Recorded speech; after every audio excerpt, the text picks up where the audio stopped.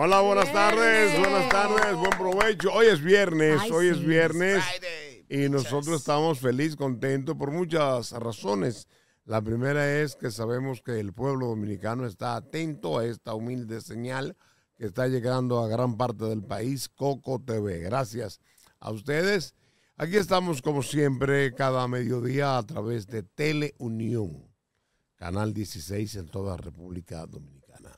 Las buenas tardes a la bella, talentosa Nicole. Wow, de verdad que hoy va a ser un buen viernes. Porque Claro, por su presentación la recibo con mucha humildad. Gracias. Buenas tardes, sí, muy humilde. Pero nada, buenas tardes a la gente que ya está conectando con nosotros a través de Coco TV, de Teleunión y todas nuestras plataformas digitales. Es viernes y por eso iniciamos, ¿verdad? Con esa musiquita bastante alegre para que ustedes entren en sintonía del fin de semana. ¿Verdad que sí, Javier? Así es, así es. Bienvenidos, bienvenidas al show de Nelson. Aquí estamos en este sabroso viernes 15. Esto implica Mm. que la calle va a estar Mm. caliente, ardiente, caliente, falla totalmente. Esos días te gustan eh, a ti, los A, 15. a mí me gustan los viernes. Los viernes, no importa que sean 15, no importa que no sean. Estamos A mí 15. me gustan los viernes. Estamos a 15. Estamos a 15. Pero ya ustedes... Ay. Mira, para que tú veas lo que es tener la, la estabilidad y la solidez. Él ni le afecta, pero ya, ya su empresa resolvió. Sí. Él, pero él ni se acuerda porque ya, y eso es importante. Sólido, como el show de Nelson.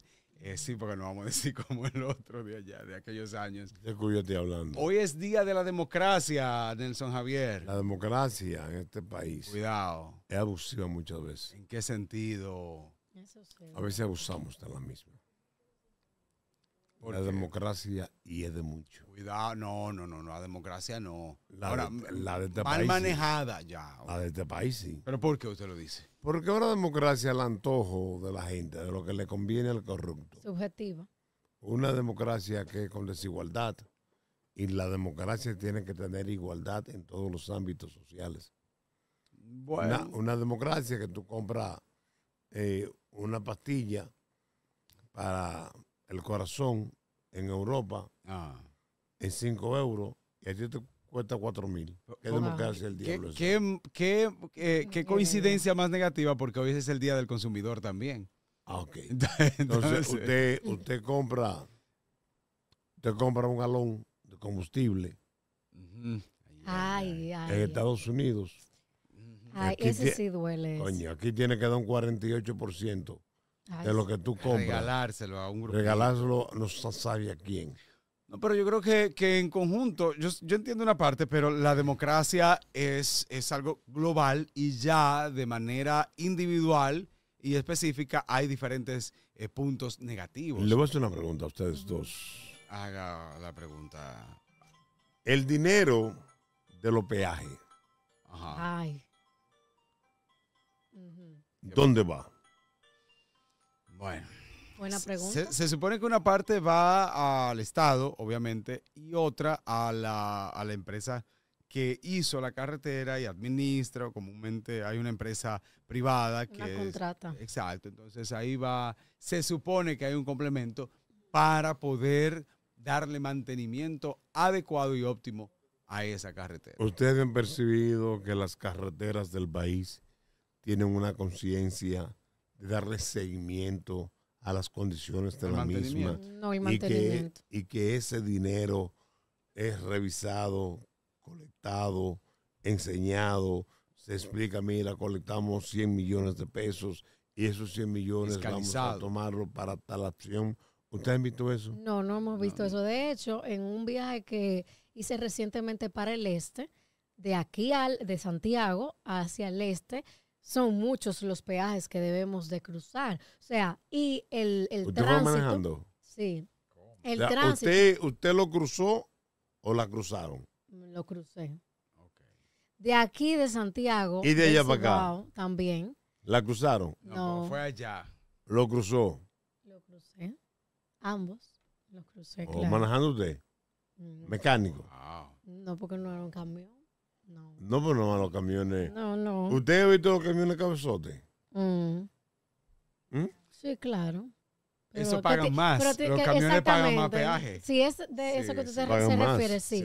Lo que quiero decir es lo que se recauda en un día solamente en uno de los peajes.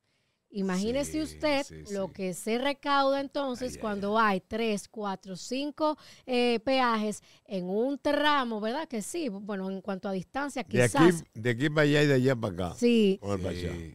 o sea, o Saludos sea, al Pachá, que debe es- estar en sintonía ahí. Seguramente. Es bastante, es bastante. Y eso no se ve traducido porque muchas de esas carreteras eh, es- no están en óptimas condiciones. No, no, El no, asfaltado está a veces muy fino, Deteriorado. muy deteriorado. O sea que es un buen tema ese que usted trae a la mesa y sería importante tra- eh, conocer qué cosas se están haciendo con esa cantidad de dinero que es significativa, porque eso es diario y todavía a las 8 de la noche hay gente cobrando el peaje. También quiero saber qué se hace con el dinero de las multas Mm. de la DGC. Ahí, ahí yo creo que la, la respuesta está difícil. Es que no puede haber una respuesta difícil. Si Le el- darán una comisión a los, eh. a los agentes de Ellos la dicen que no, Le aseguran dan que no. Le dan comisión, claro. Pero dinero- comúnmente los 15 y los 30 están más en la calle. Yo no sé por qué. el dinero de Eri, de Allison, mío, Mm. el de usted, el de usted, Javier Taveras, debemos de tener conciencia qué bolsillo lo tiene o qué institución la tiene. Claro que sí. Claro. Yo creo que eso es lo correcto. Claro. Debe haber una fiscalización y una información. Por ejemplo, ese dinero de las multas de tránsito, debe haber una respuesta a la ciudadanía. Frecuentemente, mira, se recaudaron tanto y este dinero se invirtió en tal cosa. Frecuente, pero que tampoco estamos acostumbrados.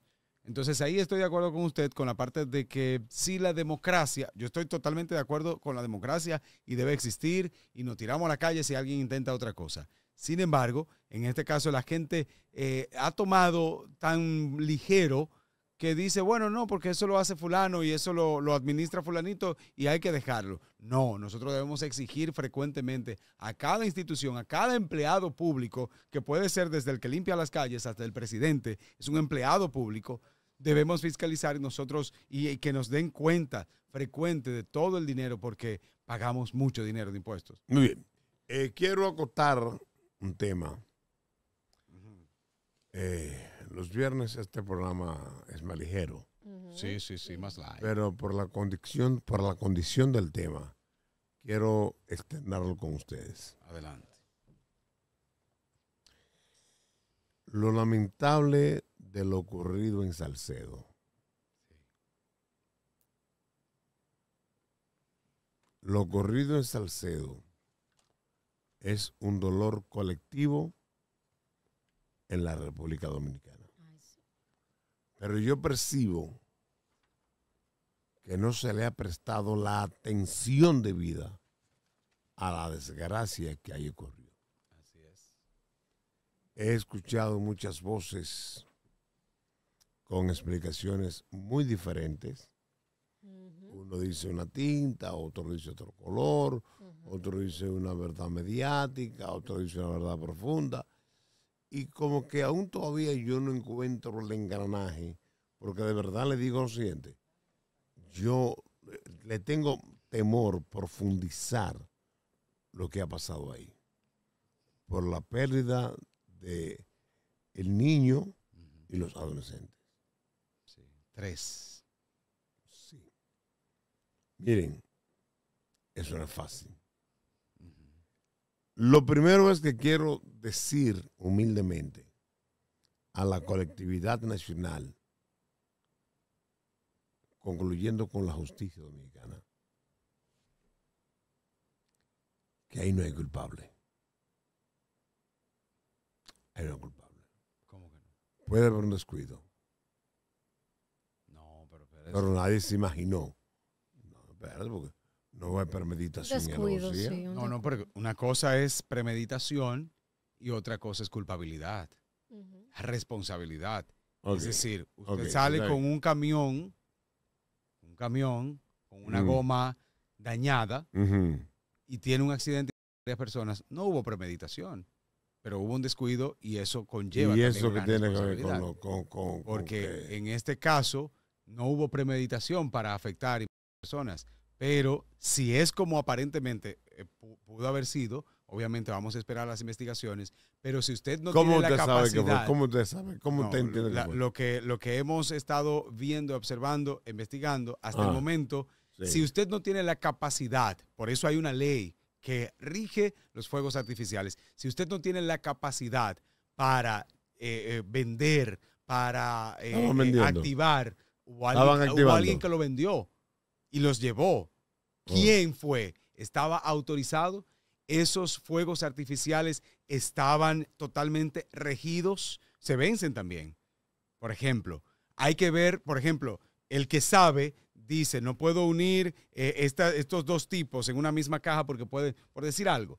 Es decir, hay una responsabilidad también que debe tener. Puede ser responsable el papá del niño. Si es el responsable, lo es. Que también tenga un eh, Lo dolor. involucran como, como parte Pero si de... lo es, hay un dolor y él perdió un niño. Eso es una cosa. Pero mira, lo primero, Pero la es, ley es la ley. Si es responsable, es responsable. lo primero es que una persona que tenga un niño de 5 años como ese no lo va a poner en riesgo. A sabienda Sí, que yo- puede causar un problema. Una. Una. Lo segundo es, ¿tú sabes dónde estaba la madre del niño? ¿Dónde? Graduándose de médico. Sí, pero ese, Cuando es, él ese es murió. uno. Cuando él Eh, murió. Yo yo estoy hablando del de- no, porque a. La madre del niño, no el adolescente. Ok. Es que va- hay dos niños y un adolescente, señor Nelson. Está el hijo El niño pequeño de 5 años. Ese hay es uno de la madre que de- estaba graduando. y hay sí, uno sí. de seis que también, y hay un adolescente. Yo digo el de 5. Ok, ok, Yo tengo el de 5. Yo tengo otra cosa. No, no, no. Lo que pasa es que ahí están los dos. Ahí está el hijo del presunto, eh, el que estaba administrando los, Son dos personas diferentes. Continúa. Los padres del niño. Ajá, El papá del niño específicamente. ajá.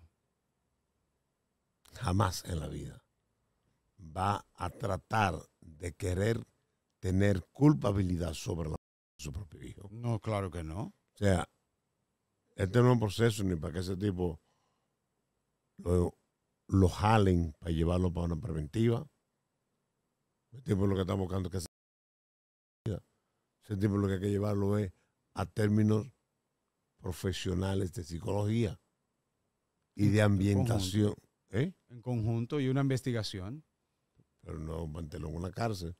Somos locos. Entiendo que, que sí, se puede ser un poco flexible en este En caso. este caso. Un poco flexible, no, flexible. Se puede, bueno, usted tiene su opinión, yo tengo la mía. ¿Cuál es la suya? La mía es que de todos modos debe hacerse una investigación, porque si aunque él está sufriendo, si hay una responsabilidad, pues debe hacerse un sometimiento, Eh. una investigación. Y si después se quiere ser flexible, ok, después de determinar, pasó esto, esto y esto.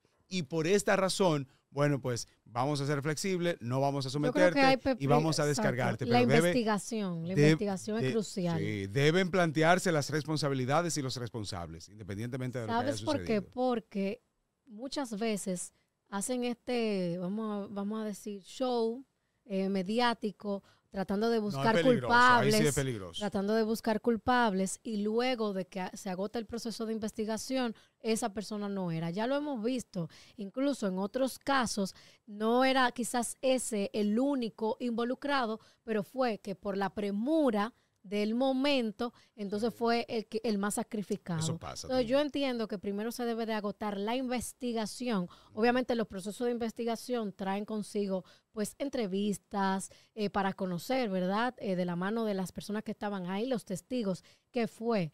Pero entiendo, entiendo que deben de agotarse el debido proceso por el dolor.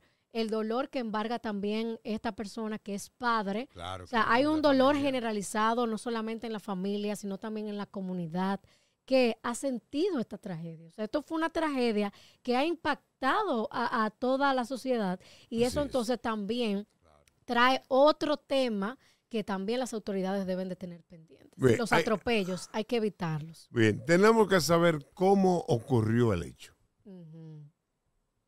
¿Cómo ocurrió el hecho? Claro, sí.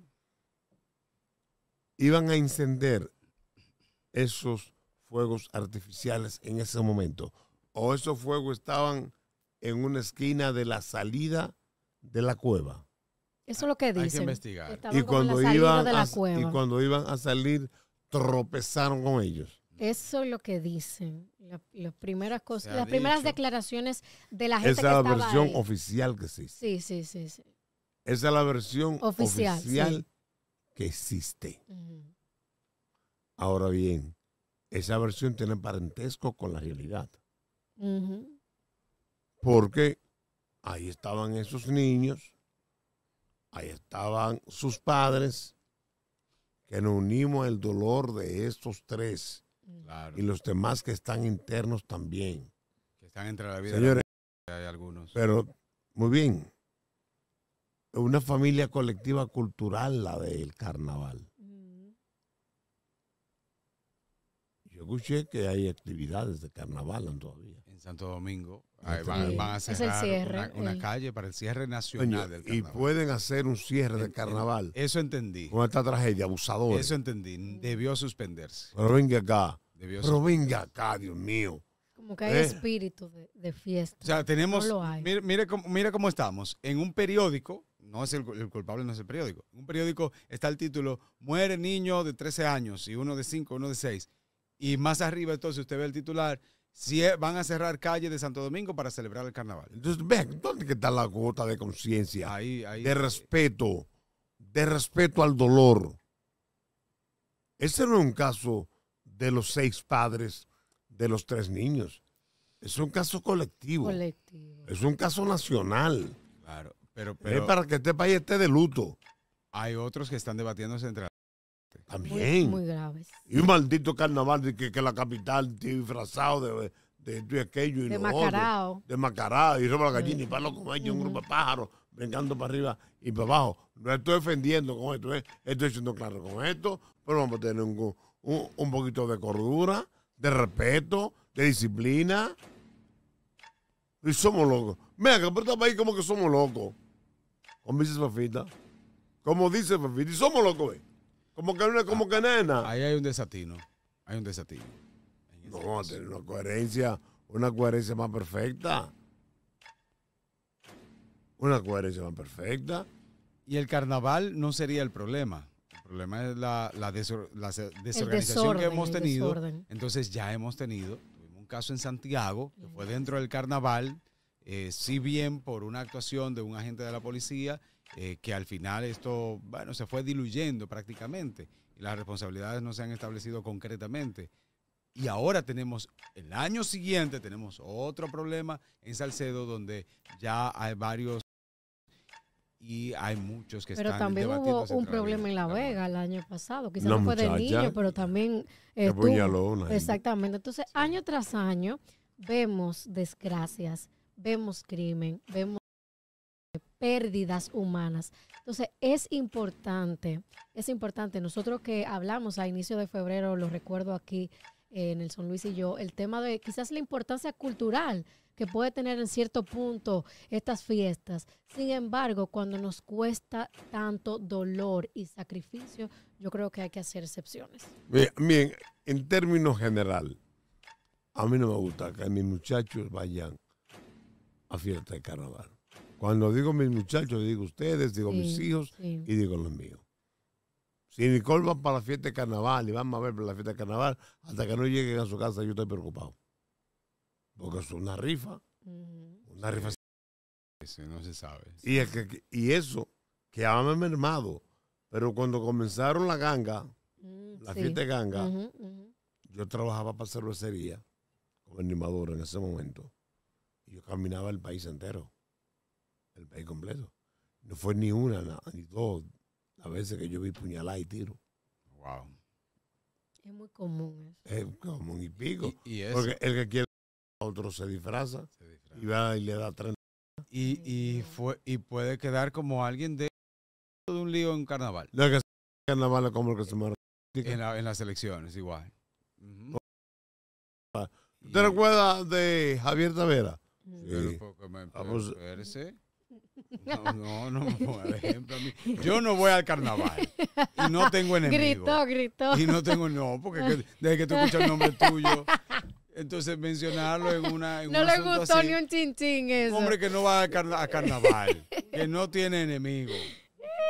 Lo mató Ey, un chino. Pero ven acá. Ay, ni un chi- chinchín. Un, un disfrazado. Mire, y como está él, entonces él me menciona y después. No, es que me dio risa porque pensé, que- eh, eh, cuidado. ¿tú te recuerdas del muchachito de la televisión? Ajá. O por ese lo uno que vino Pero que venga que. pero que disfrazado no. de, de Maduro. No, No, no, no, no olvides eso, zafa.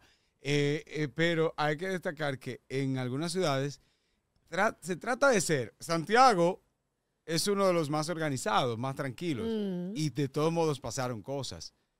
Pero hay otros que tienen más desorden todavía y suceden cosas que no trascienden porque es normal. Pero lo que me dicen que pasa en la línea noroeste. No, a- Lo- lo- ahí, ahí se sacan on, ahí se dan fuetazos. Y eso, eh. lo que pasa es que eso no Ah, trasciende porque es muy normal. Ay, Dios mío. Eh, yo he visto, yo he visto gente dándose fuerte. Fuerte, sí. Pero yo estoy- pero ¿y este salvajismo? ¿Qué locura es? ¿Y este salvajismo? Yo no entiendo. No Yo entiendo. respeto, yo, refi- yo respeto esa fiesta de, de- de carnaval. Ujú. Y, y es verdad que al, que al fuete le ponen gilet. Ay, eh, eh. Hasta el navajas, diablo, pues, no sé, eso ahí Pero, se- pero ¿cómo, ¿cómo es? De verdad, eso siempre lo he Por escuchado. eso es que la gente dice que es una fiesta Eric, satánica. ¿tú qué sabes de eso? No, yo no sé. Que es una fiesta es verdad, es verdad, Eric. Mire, No, en, y el tema de la vejiga, la, mo- como que la moja, ¿no? en- No sé. en una De ocasión, cuero son De la vejiga. cuero. Eh. De cuero la el vejiga. material, el material. Material de cuero. Usted tiene ahora mismo algo de cuero. Ujú. Usted Yo tiene de también, cuero. la falda. Ah, no, pero que los dos La andan, de, los dos andan de Sí. cuero aquí, señores. ¿Y cómo es? Po- Es que eso es lo que está entendiendo. Póngase de pie, póngase de pie. Estamos de tendencia. Para que la gente entienda. Él estaba metiendo la paloma a usted. No, no, no, no. No Hablamos, pero ahora no puede uno expresarse. Hablamos de democracia aquí, de la Mm. libertad de expresión. Hoy es día de la tuya, democracia. Es que yo me pare y enseñe. No, yo dije que estábamos hablando de cuero y ustedes andan de cuero, Mm. los dos. De piel. Cuero, piel, todo lo mismo, de leather. Eso es mentira. De leather. De leather. Entonces, sí, sí, para que la gente vea y, y sepa, ¿no? No No se tiene que ver nadie, que ella quiere que vea vio. Y va a ver esta noche también. Ya. Tranquilo, no, no, no hable. Digo, de- de noche no esta tarde, porque esta tarde que estamos haciendo diligencia. Entonces, Nosotros seguimos en el tema del carnaval. entonces el carnaval, sí, no, es un tema serio, es un tema que realmente eh, debe, debe investigarse cada una de estas acciones. Y sencillamente, yo creo que en la República Dominicana debemos hacer algo, porque no puede ser que cada año en una fiesta cultural del arte, entonces cada año no, no, no puede ser. Algo. Una algo pregunta. Si la gente se disfraza, lentes ahí. ahí. si la gente se disfraza, Ajá, toma alcohol. Le ponen una música a todo lo que da. Ah, anda con fuerte en la mano, sí, el cuerpo siempre está en movimiento. sí, sí, sí. Sin, sin comer. Así mismo es. Sí, sí. Tú no sabes quién te está mirando y quién te está mirando. No. Ahí están las confusiones por pipa. El carnaval es bonito, pero en comparsa. Tú vas a verlo en teatro, en comparsa. Así que yo lo disfruto. No sé si es el de Santo Domingo, se va a hacer así. Un desfile de comparsa, Siempre es así. formal, Santo Domingo. ya, pero El yo desfile nacional siempre es bien, muy organizado. Al desfile nacional lo que le conviene es suspender eso. Yo creo que sí, en este momento. O sí. sea, debe de unificar criterios de luto del país. Porque entonces estamos normalizando las carnaval. Y es fácil. No, O sea, eso- vamos a eh, seguir porque eso es normal. Año tras año, más y más, pero esta vez, señores, hay niños y adolescentes. Varios, Varios. varios. O sea, tenemos que tener cuidado con esto. Y otros debatiéndose entre la vida. Hay, los pronósticos están reservados para este momento. Bien, permanezca ahí que nosotros somos Show de Nelson. Estamos en Coco TV y Teleunión. Seguimos.